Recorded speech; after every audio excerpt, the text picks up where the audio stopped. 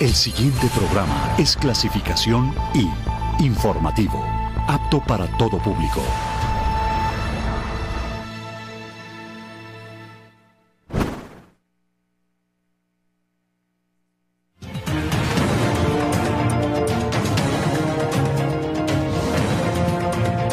Noticiero Ciudadano. Se llevará a cabo la histórica visita de Estado del presidente de China, Xi Jinping. Por decreto presidencial fueron designados tres nuevos ministros. Se llevará a cabo el primer debate de la Ley de Movilidad Humana. Y en lo internacional, Honduras, Guatemala y El Salvador se unen para combatir la delincuencia.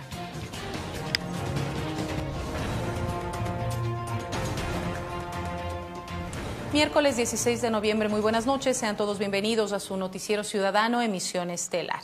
Empecemos con la información. La visita del presidente de la República de China, Xi Jinping, permitirá la consolidación de acuerdos estratégicos para el desarrollo de Ecuador y así construir un nuevo puente de cooperación amistosa entre los dos países. El presidente de China Xi Jinping cumplirá agenda en territorio ecuatoriano los días jueves 17 y viernes 18 de noviembre, tras la invitación realizada por el mandatario ecuatoriano Rafael Correa. El líder asiático ha manifestado que aunque ambos países estén separados por el océano, son sus ideales comunes los que fortalecen el vínculo amistoso.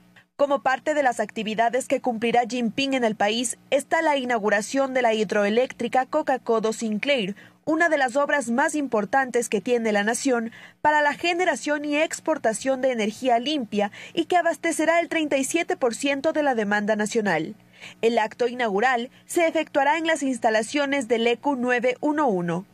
Con esta visita de Estado, las naciones de China y Ecuador afianzarán sus relaciones bilaterales a través de la firma de convenios estratégicos que promuevan el progreso mutuo entre ellos el acoplamiento de cadenas industriales e impulsar la cooperación práctica hacia el desarrollo mediante la transferencia tecnológica. Esto en el marco de que China está implementando su décimo tercer plan quincenal, mientras que Ecuador está en la activa promoción de su Plan de Desarrollo Nacional 2013-2017.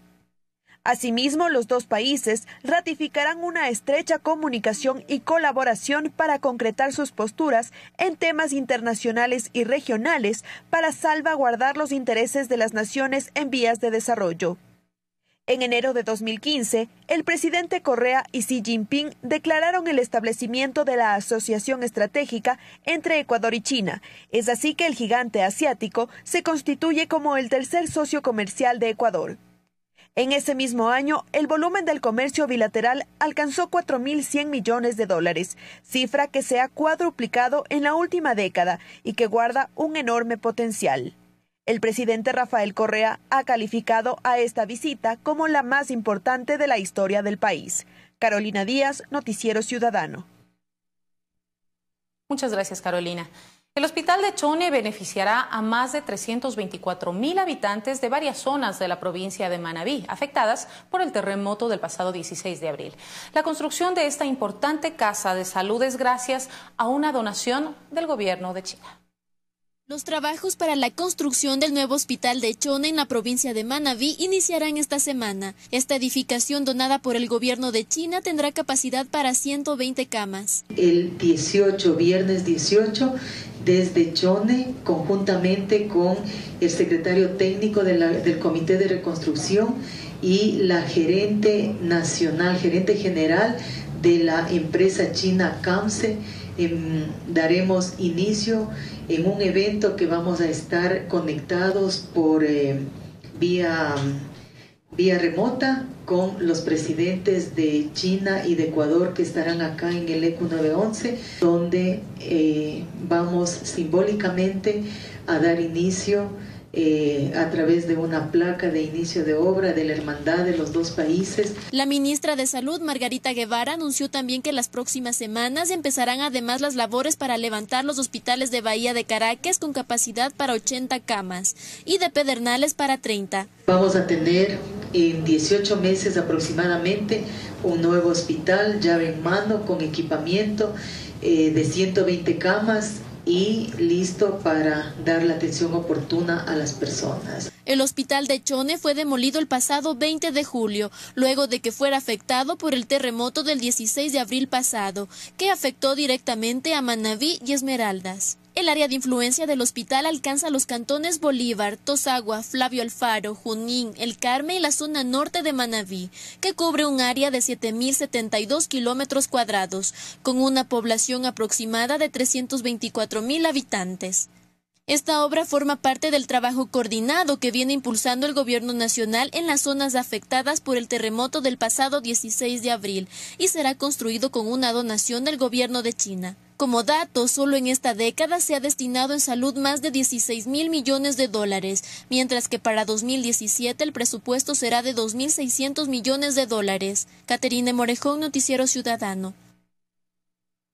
El vicepresidente de la República, Jorge Glass, calificó de ataque grotesco a los rumores propagados por el diario La Estrella de Panamá, que en días pasados informó sobre la existencia de un supuesto informe muy grave y comprometedor.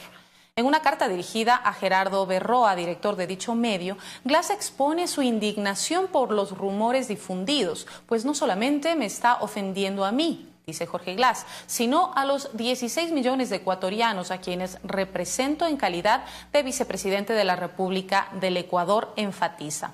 Añade que sospecha que las motivaciones del ataque feroz en su contra son porque este año el gobierno liderado por el presidente Rafael Correa planteó el denominado pacto ético en el marco de la lucha en contra de prácticas financieras que dan cabida a delitos graves como el lavado de activos y la evasión, tributaria. Además de publicar la carta, Glass exige a la estrella de Panamá que expresen en el mismo medio de comunicación las disculpas públicas y advierte de no probar sus acusaciones, acudiré a las Cortes de Justicia para hacer valer los derechos que me asisten de conformidad con lo dispuesto en la Constitución Política de Panamá y en el Colegio Penal Panameño. Finaliza la misiva. 60 empresarios chinos participan del foro de negociación Ecuador-China que se desarrolla en Quito. En ese contexto, ProEcuador y el Consejo para la Promoción de Comercio Internacional de China firmaron un convenio de cooperación interinstitucional. Veamos la siguiente nota. Las relaciones entre Ecuador y China se encuentran en su mejor momento. Una muestra de ello la firma del convenio de cooperación institucional entre ProEcuador y el Consejo para la Promoción de Comercio Internacional de este país asiático, en el marco del Foro de Negocios de Ecuador-China que se desarrolla en Quito. En este foro que fue inaugurado por el ministro de Comercio Exterior Juan Carlos Casinelli participan más de 80 empresarios interesados en realizar negocios en el país. Casinelli explicó que con el propósito de generar beneficios, las relaciones entre ambas naciones han avanzado a pasos agigantados. Una gran oportunidad para recibir de ellos primero una impresión de la intención de inversión que tienen en el país. Ya hay inversiones, pero obviamente aquí viene un sector empresarial con intenciones de hacer conocer cuál es su potencialidad y obviamente tratándose de China eh, crea enormes expectativas. China es un país con 1.3 billones de habitantes, lo que representa una oportunidad para el sector exportador ecuatoriano. En este sentido, el presidente del Consejo Chino para el Fomento del Comercio Internacional destacó el potencial del país en el área de exportaciones.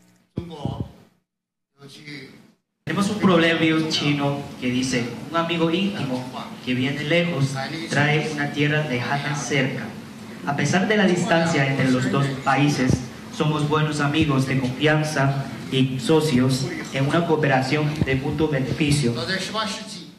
Las exportaciones no petroleras de Ecuador hacia China muestran una tasa de crecimiento anual del 30,86% del 2011 al 2015. Los principales productos no petroleros exportados a China son camarón, langostino, banano, madera y harina de pescado. Portafolio que nosotros ofrecemos en sectores estratégicos, que son sectores claves también dentro de la oferta que tienen de inversiones en China, es de aproximadamente el 60% de los 40 mil millones que indicamos hace unos días cuando hubo la cumbre de inversiones. Así que las condiciones están dadas, el país es el país de las oportunidades. Este foro es resultado del trabajo que viene ejecutando ProEcuador, entidad que constituye el vínculo directo entre potenciales inversionistas y compradores de esta nación asiática. Caterine Morejón, Noticiero Ciudadano.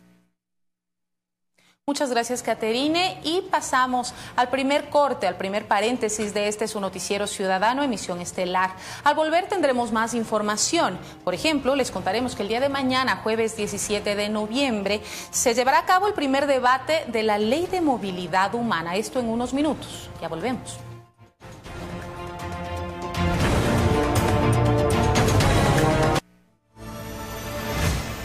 Inicio de espacio promocional.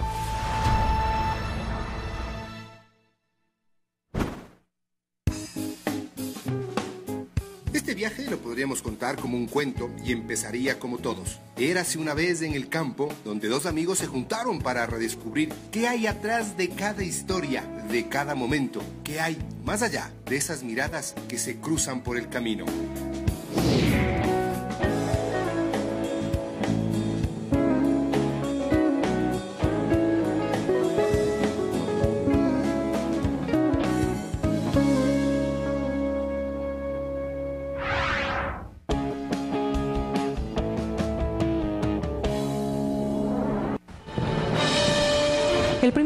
Internacional de Artes Vivas se convierte desde hoy en el mejor potenciador de las artes escénicas nacionales.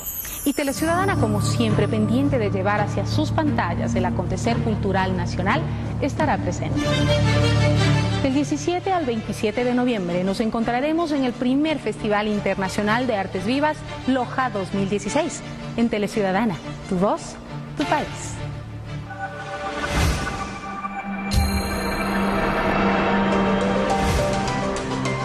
Teleciudadana, tu voz, tu país.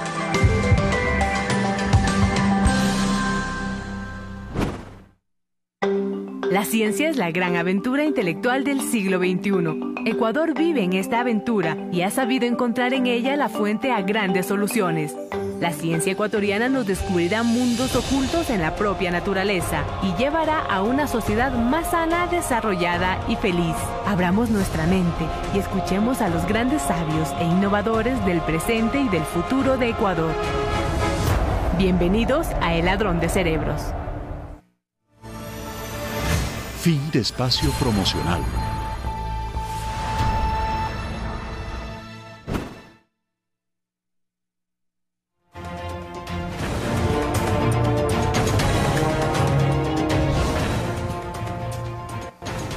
Gracias por su amable sintonía. Falleció en Quito el expresidente de la República, Sixto Durán Ballén, el día de ayer. El exmandatario durante su periodo debió enfrentar una fuerte crisis energética y el conflicto armado con Perú. El presidente Rafael Correa decretó tres días de duelo nacional. Aquí un recuento de quién fue Sixto Durán Ballén. A los 71 años de edad, Sixto Durán Ballén llegó a la presidencia del Ecuador. El 10 de agosto de 1992 asumió como tal. El anterior régimen de Rodrigo Borja le heredaba a un país con un escenario desfavorable. La inflación anual bordeaba el 50%, 6.5% de déficit del sector público y una tasa de desempleo del 8%. Durán Ballén impulsaba la privatización de empresas, incluso pretendía privatizar el IES. Esa propuesta desencadenó en huelgas a nivel nacional. A tres meses de iniciar su mandato, dispuso el adelanto de una hora en la jornada laboral y educativa debido a la crisis energética que vivía el país. La hora Sixtina fue uno de los periodos más, eh, ¿qué diría?, antipáticos. En agosto del 94 convocó a una consulta popular para reformar la constitución. Entre enero y febrero de 1995, Ecuador libró un conflicto armado con Perú, tras una incursión militar peruana en una zona no delimitada, en el Alto Cenepa. No vamos a retroceder, ni un paso atrás. La frase ni un paso atrás fue el eslogan de guerra. Incluso aquella frase devolvió la popularidad al mandatario, que había perdido tras sus desaciertos durante su gestión. Desmilitarizar una zona y retroceder a otras poblaciones. Dije no, dije no, dije que el Ecuador es el agredido. Ninguna de estas posiciones representa una posición peruana. Por lo tanto, no somos nosotros los agresores, son ellos. No vamos a retroceder. Previo a ser presidente en 1994, tras el terremoto de Ambato integró la Junta de Reconstrucción, que actuó en la provincia del Tungurahua. Desde 1956 a 1960 se desempeñó como ministro de Obras Públicas en el gobierno de Camilo Ponce Enríquez. En 1956 funda el Partido Social Cristiano. En 1970 asume la alcaldía de Quito. Sus funciones fueron prorrogadas por el gobierno militar hasta 1977. En 1992 es elegido presidente de la República por el Partido Unidad Republicana PUR, que fundó tras dos candidaturas presidenciales que perdió con el Partido Social Cristiano. A través de su cuenta de Twitter, el presidente Rafael Correa señaló falleció Sixto Durán Ballén, sin duda un buen hombre. Por decreto presidencial número 1233, se declararon tres días de luto nacional. Sixto Durán Ballén falleció a sus 95 años en Quito. Con los honores como exmandatario de la nación, se dispuso que el pabellón nacional sea izado a media asta en los edificios públicos. En Quito, Víctor Fernando Bravo, Noticiero Ciudadano. Nuestros respetos a su familia, paz en su tumba. Este jueves se llevará a cabo el primer debate de la Ley de Movilidad Humana. El asambleísta Francisco Agó, integrante de la Comisión de Relaciones Internacionales de la Asamblea Nacional, nos comenta los beneficios que esta normativa que atiende las necesidades de la ciudadanía y en especial la de nuestros migrantes ecuatorianos. Veamos. La propuesta de una normativa en materia de movilidad humana constituye un importante paso en esta nueva forma de construcción del buen vivir para todos los ecuatorianos en el mundo y para aquellos que viven en nuestro país. Este jueves se debatirá el informe para primer debate de la ley. Francisco Agó, asambleísta, destaca su importancia, pues la legislación migratoria vigente data de 1970. Regularizar las últimas cuatro décadas de legislación que hemos tenido en materia migratoria. Hay una serie de leyes, son cuatro leyes las cuales van a ser derogadas a través de esta ley.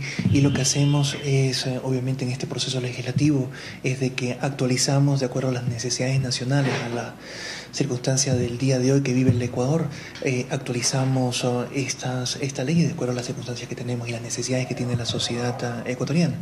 El proceso de construcción de esta ley ha tomado varios años y ha pasado por varios ciclos donde la participación ciudadana y la construcción colectiva se han constituido en mecanismos fundamentales. Tenemos que crear marcos uh, legales, legislativos en los cuales se permita al Estado actuar e interactuar con estos grupos. La ley establece derechos, obligaciones, protección y apoyo tanto para los ecuatorianos emigrados como para los retornados. De acuerdo a Cancillería, hasta diciembre de 2014 regresaron a Ecuador 70.000 ecuatorianos como parte del plan retorno diseñado por el gobierno nacional. Todos estos programas que se crearon a lo largo de estos 10 años los estamos elevando a política de Estado lo estamos elevando a la ley, de tal manera de que independientemente de lo que, lo que pase en el futuro, esto ya se vuelve la norma en que tiene que seguir el Estado ecuatoriano con respecto al reconocimiento de los las responsabilidades que tiene el Estado para con sus migrantes en el exterior. La nueva normativa también contemplará aquellos temas relativos al ingreso y la salida de Ecuador,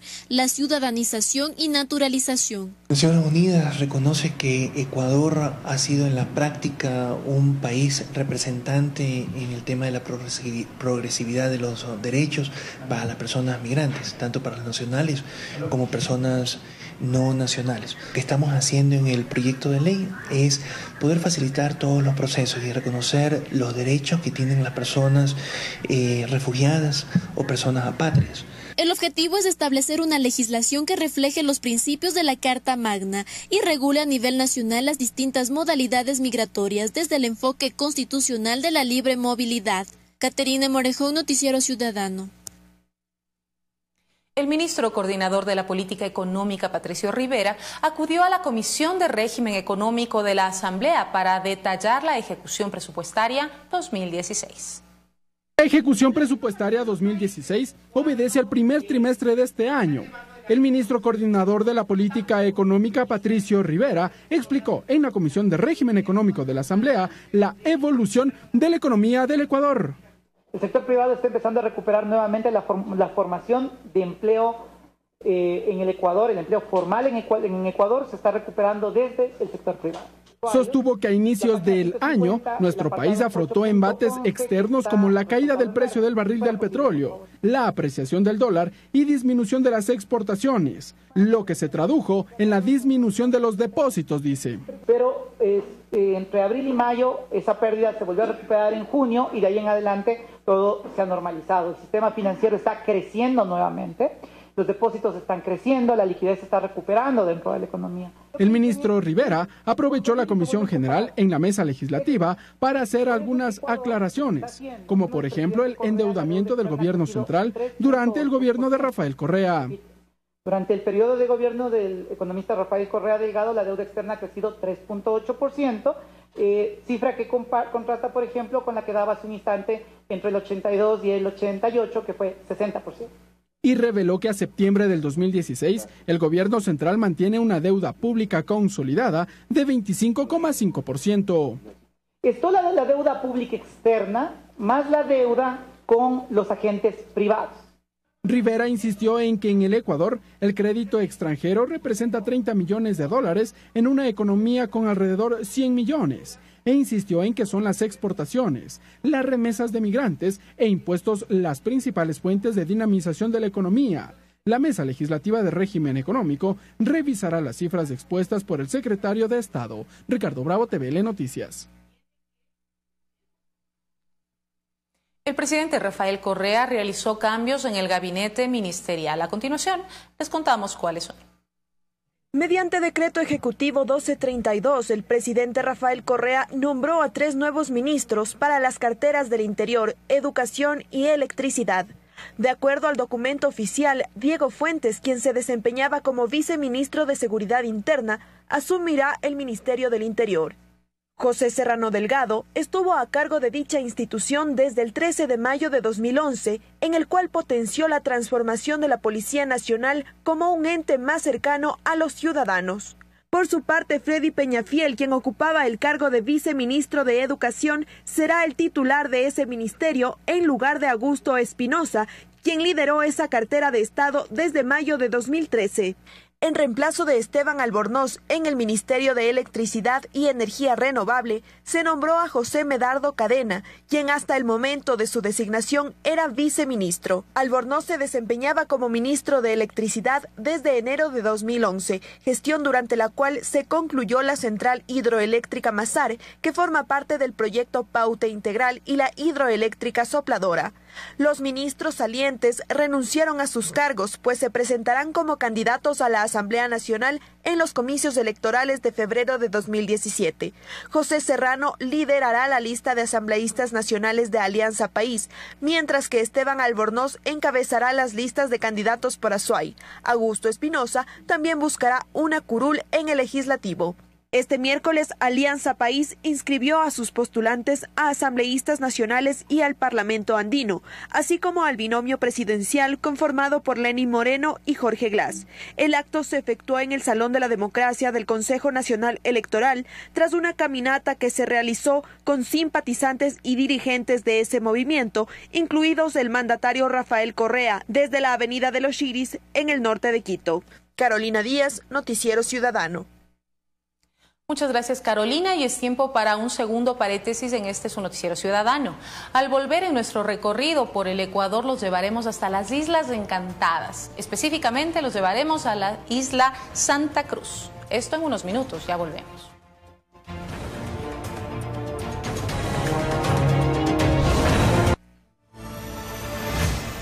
Inicio de espacio promocional.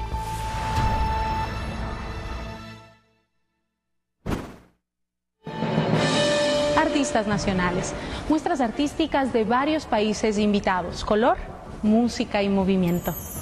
Y Teleciudadana lo lleva hacia sus pantallas desde el 17 al 27 de noviembre en el primer Festival Internacional de Artes Vivas Loja 2016. Teleciudadana, tu voz, tu país.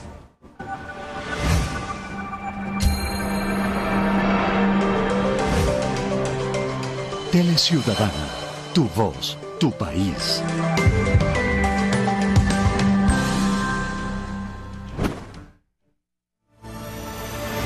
Fin de espacio promocional.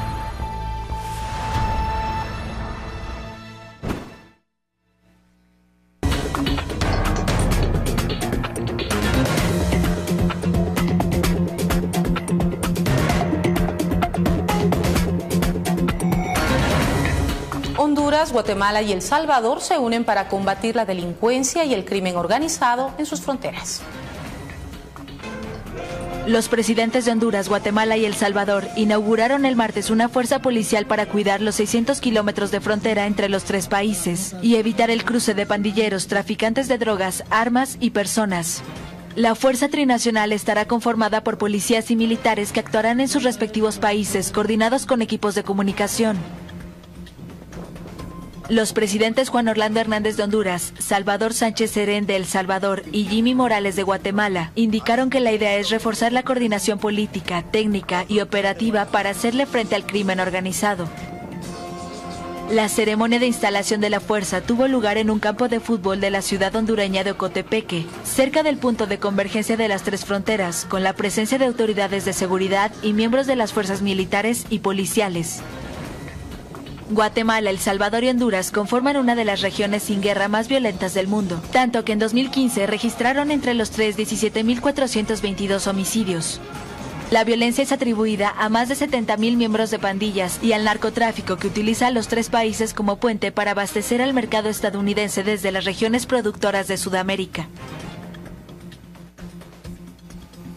En Colombia, el jefe de la delegación de negociadores manifestó que el nuevo acuerdo de paz con las FARC es definitivo, sin posibilidades de más negociación. Los negociadores de paz en Colombia llamaron el martes a la implementación del nuevo acuerdo alcanzado con las FARC el pasado fin de semana y aseguran que no hay espacio para una nueva negociación tras 130 horas de trabajo minucioso con la guerrilla. Yo pienso que la mayoría de los colombianos muestra apoyo, satisfacción y sobre, sobre todo deseo de implementar ya. Este es el acuerdo final, así se, así se denomina y lo que no podemos es perder tiempo, hay que comenzar la implementación. Las peticiones del bloque que rechazó el acuerdo original en el plebiscito del 2 de octubre fueron incluidas en el nuevo documento publicado el lunes que presenta cambios en 56 de los 57 asuntos propuestos. Consideramos que ese acuerdo que se ha presentado no es un acuerdo definitivo y lo vamos a estudiar, revisar, a analizar con juicio y después de ese análisis cuidadoso le presentaremos nuestras conclusiones a la opinión pública. Los negociadores insistieron en que intentarán definir cómo se refrendará el nuevo texto para que su implementación comience pronto y no se ponga en peligro el cese al fuego que las partes mantienen desde agosto. Un incendio en Perú deja varias víctimas mortales, al menos siete personas desaparecidas. Al menos cuatro muertos y siete desaparecidos dejó el miércoles un incendio en un centro comercial ubicado a pasos de un exclusivo hotel de Lima, donde planean hospedarse algunas de las delegaciones participantes en la cumbre APEC. Los dos hombres y dos mujeres fallecidos estaban en la zona de los cines, indicó la policía. El incendio comenzó a media mañana en el centro comercial Larcomar, ubicado en el distrito limeño de Miraflores. La policía indicó que se trató de un hecho fortuito que nada tiene que ver con el foro. A la cumbre que se desarrollará el viernes y sábado en Lima asistirán líderes de 21 economías del Pacífico, entre las cuales China, Estados Unidos, Japón y Rusia. Y regresando al acontecer nacional, en nuestro recorrido por el Ecuador los invitamos a visitar la mágica isla de Santa Cruz en Galápagos. Playas de arena blanca y una gran vida salvaje encantan a propios y extraños. Veamos. Santa Cruz, uno de los encantos del archipiélago.